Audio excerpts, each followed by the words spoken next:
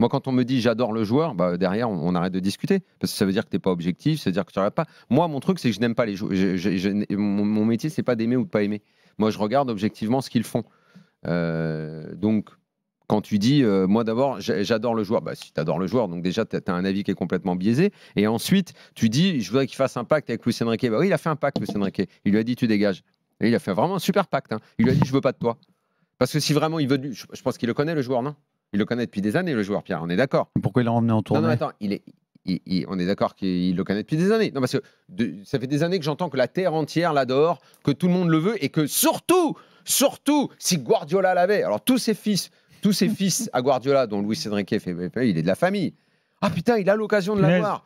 Il a l'occasion de l'avoir. Il a l'occasion de l'avoir. C'est le rêve d'une vie d'avoir Verratti quand t'es un fils de Guardiola. Le rêve d'une vie.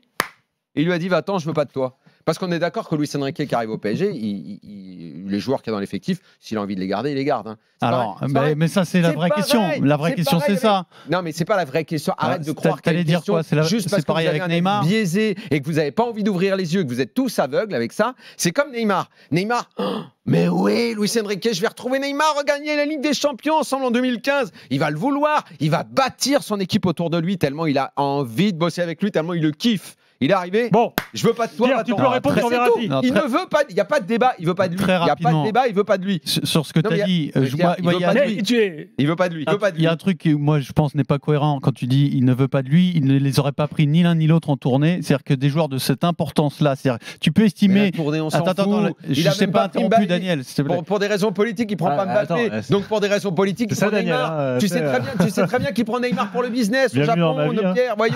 Non, mais euh, si, par contre, euh, laisse-moi parler Deux secondes. Euh, des joueurs de cette importance, que tu les apprécies ou pas, ce sont des joueurs importants dans le groupe.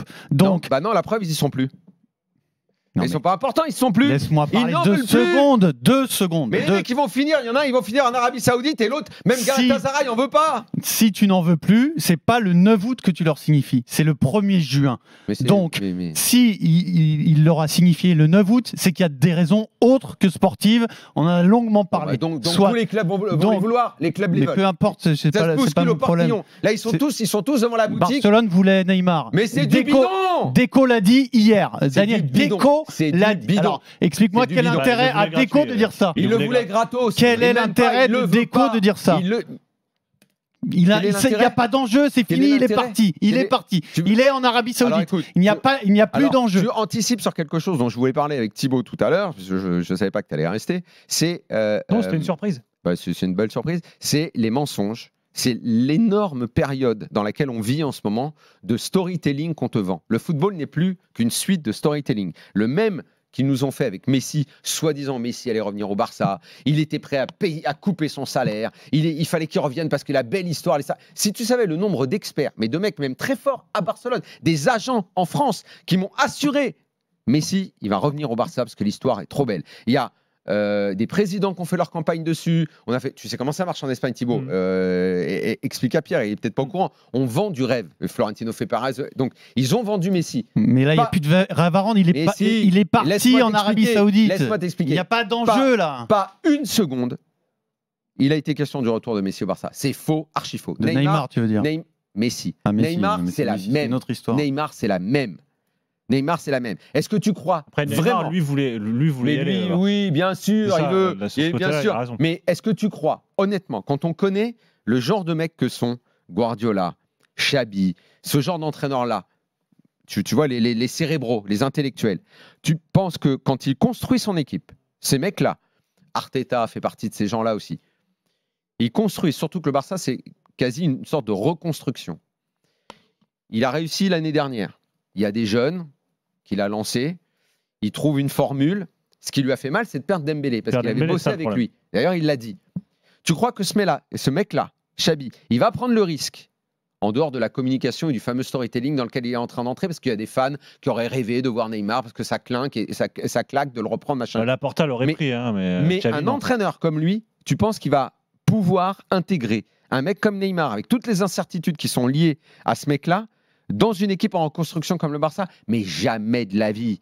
Xabi, tout pote et meilleur ami du monde qu'il a avec Messi, il n'en voulait pas. Il ne peut pas l'intégrer dans un collectif. Et Neymar, c'est la même. En fait, vous vous faites des illusions, vous vous racontez des histoires, et les dirigeants vous racontent des histoires. Les gens, cet été, honnêtement, je pense que cet été, on a explosé. On a explosé c'est le vrai, baromètre Daniel, des mythos vrai en que la- transfert, en histoire. vrai que la- Par racontée. contre, la faut que je puisse en placer une, la à un moment, même euh, ou un autre, sinon je reste pas, euh, Gilbert. le narratif, on, Juste après Thibaut, c'est on ton est obligé de, on s'y accroche parce que la vérité est tellement dégueulasse, pardon de le dire comme ça, qu'on préfère toujours une, Merci. Un narratif Merci. agréable qu'une vérité dégueulasse. Merci. Et c'est ça dont Et je voulais ça- parler ça- principalement ça, ce soir. comprendre. Et je peux même annoncer que ça va être mon thème de l'année. Parce que ces mensonges ne cherchent qu'à cacher la- une chose, réalité, la vérité- c'est à quel point le foot est en train de devenir de plus en plus dégueulasse. Mot la de la fin pour Pierre Dorian très rapidement, euh, alors je réponds en 4 secondes là-dessus, autant sur Messi, hein. il n'y a pas de souci, mais sur euh, Neymar, et c'est pas du tout le même enjeu que Messi, et quand Deco dit qu'ils n'ont pas réussi parce qu'ils n'ont pas trouvé le montage financier, Il n'a pas dit ça.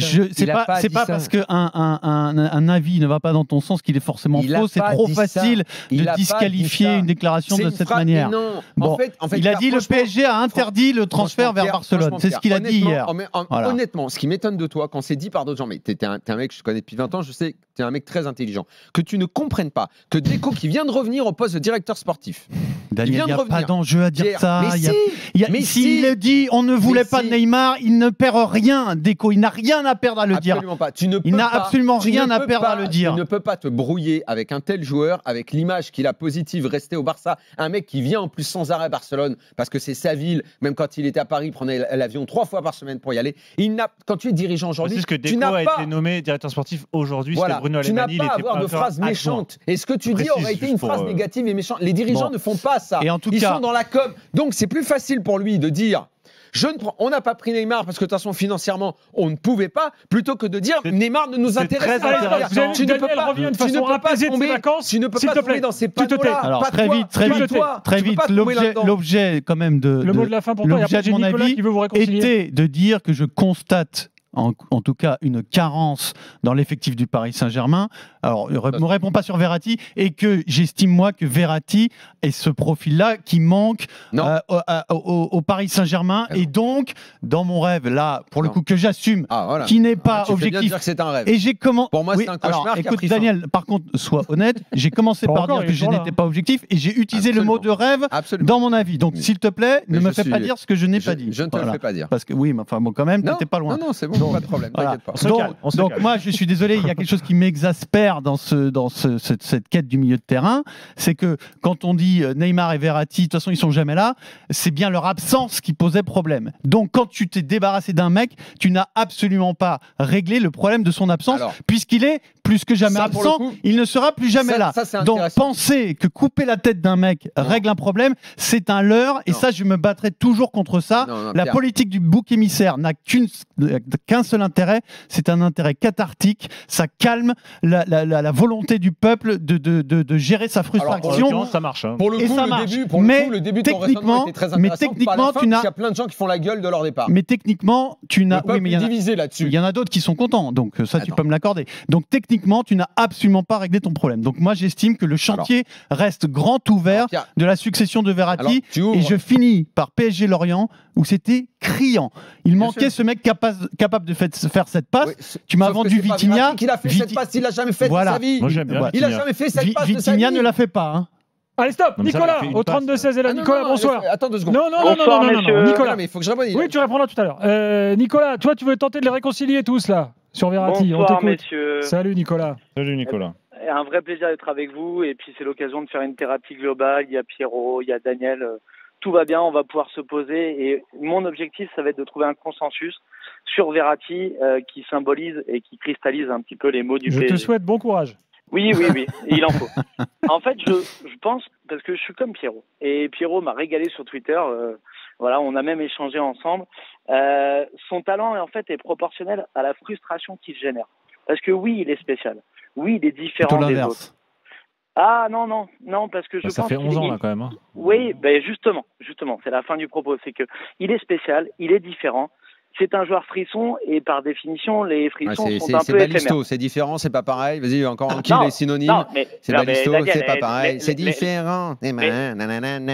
C'est Bon, en grande forme, Daniel. Arrêtez, quoi, au bout d'un moment. On sérieusement laisse avancer là. Arrêtons avec les Eh, jingles. Daniel, en plus, je vais être d'accord avec toi. C'est-à-dire que c'est un joueur frisson, mais euh, force est de constater qu'au bout de 10 ans, déjà, il n'a pas Ah, progressé. Il n'a pas progressé. Et pour moi, il Eh n'a oui. pas respecté ses engagements vis-à-vis du club, à savoir être un sportif de haut niveau. C'est tout ce qu'on lui demande. Ah ouais, si tu te maries avec ta femme, euh, tu fais du frisson pendant 10 ans, Bon, mais c'est la bon. vie de noces, elle Euh, jamais. euh, au bout d'un moment, tu vas arrêter de frissonner. Vas-y, hein. Nicolas, continue. Ben, Oh. Les frissons sont éphémères, Daniel. Donc 10 ans de frissons, ça peut être long. Mais euh, pour moi, Après, voilà, l'amour change de nature. Après, Bon, Verratti, on arrive au bout de l'histoire. Et euh, je suis pas totalement d'accord avec Pierrot sur le fait qu'il symbolise un peu le jeu de Luis Enrique, puisque Verratti, là où il est bon, c'est dans les sorties de balles. Et quand on est en bloc haut, euh, position haute, à trouver des intervalles, à jouer sur du jeu court, c'est pas là où Verratti va nous être utile, malheureusement. Là où il est très fort. Ok, mais dans les matchs les, plus importants, tu n'auras pas cette configuration-là. hein. Si tu te projettes un peu Ouais, plus loin sûr. sur les matchs de Ligue des Champions, Attendez, attendez. tu vas pas euh, jouer comme contre Nicolas, je te, je te remercie de ta tentative de, de la- la- réconciliation. La seule piste intéressante que tu as ouverte mérite qu'on s'y attarde deux Bah, déjà, si j'en ai ouvert, une à tes yeux, c'est déjà un trophée. mais Nicolas aussi, il a- fait une bonne synthèse, je trouve, Nicolas. Euh, Bravo. Oui, euh, comme je le disais tout à l'heure pour Chabi et ces entraîneurs-là qui bâtissent des équipes et qui mettent en place un collectif, oui, au bout d'un moment, et notamment après euh, 11 ans pour Verratti, 6 pour Neymar, tu ne peux plus faire confiance à des gens qui sont là 50% du temps puisque ça t'empêche ton évolution. Donc au bout d'un moment, tu ne peux plus attendre. Après, il y a un truc. Daniel, Mais c'est que d'accord Verratti que- reste un joueur patrimonial pour le PSG. et il a d'accord, quand d'accord, même- mais au bout d'un il y a une valeur sentimentale. mais il faut arrêter avec les sentiments. Mais t'es d'accord que les c'est virés ne règlent le- pas le problème. Ça, t'es d'accord avec ça quand même. Moi, c'était le- point que je reconnaissais à Pierre, c'est que je, re- et je trouvais qu'effectivement, Verratti faisait partie quand même de la, légende du PSG, à Oui, mon sens, oui, plus que Neymar. Même plus que Neymar. D'accord, Il a- une valeur sentimentale. moi, j'ai arrêté, j'ai arrêté la J'ai légende. en arrêté les 2000. sentiments. J'ai arrêté les sentiments en 2017, moi. Donc voilà. Bon, bref. Donc maintenant, moi, depuis 2017, j'attends autre chose que les sentiments. Donc là où tu as raison, Pierre, c'est que ces joueurs-là, qui étaient des mecs qui devaient te faire la différence et qui euh, ont engendré plus de frustration qu'autre chose, il faut les remplacer. Et couper la tête ne suffit pas. Couper la tête ne suffit pas. L'équipe, comme elle est là à l'heure actuelle, évidemment qu'elle a besoin d'un joueur qu'on appelle créatif, en gros d'un 8-10. Euh, Verratti, c'est un 6-8. Ouais, mais il peut être un peu plus bas, c'est pas Mais non, gênant. mais- Il t'en faut un en tout cas. Tu n'as pas de. euh, Verratti, c'est d'ailleurs à chaque fois le problème, même quand on faisait les chapeaux, et même tout au long de son positionnement, de, tout au long de sa carrière, c'est qu'on avait du mal. Emery avait essayé de le transformer en 8-10, ça avait tenu deux matchs. parce que le football a beaucoup changé au moment où lui, il a démarré. Il, il aurait pu être. C'était 6, Daniel, il aurait pu 8, être Régista. mais ça n'a jamais été 10. Il est arrivé comme Régista avec un, un poste qui a Quand un peu il disparu. arrive, c'était le rêve d'un en Pirlo. 2011, Mais 2012. il n'a même, pas été le- il a Entre-temps- même pas été le pied gauche de Entre Pirlo, temps, tu as eu le malheureusement. contre-pressing, entre temps, tu as eu Klopp, tu as eu le football allemand, tu as, Voilà, les Red Bull, etc. Ce qui Et ça, il ne t'as- on a supporte changé, pas. on a changé de, de et lui, et moi, mon point, c'était de dire que lui n'a pas, pris le train du nouveau football. Parce que c'est physiquement en je C'est reconnais, le talent du mec. Enfin, Parce que physiquement, il faisait pas les attention gars. à lui. Donc, c'est pas d'un 6-8 dont tu as besoin, puisque maintenant le club en est pourvu, c'est d'un 8-10. Et là, je suis d'accord avec toi à 100%. Il faut, et je pense que c'est l'idée hein, de, de Campos, ça m'étonnerait que ça, ça n'arrive pas, parce que je veux bien qu'il continue à se mettre sur des attaquants à l'appel, là, euh, mais euh, ok, ce qui manque dans ce club aujourd'hui, c'est un 8-10. Ça, c'est clair et net. Ça, je suis d'accord avec toi. Tu vas enlever un problème, parce que je pense qu'ils étaient devenus tous les deux un problème, de par leur implication, euh, de par leur état de santé. Il fallait passer à autre chose. Mais Moi, tu je n'as pas réglé le problème de leur absence. Mais pour régler totalement le problème, tu as réglé qu'une partie du problème. Pour le régler totalement, il faut un 8-10 maintenant dans cette équipe.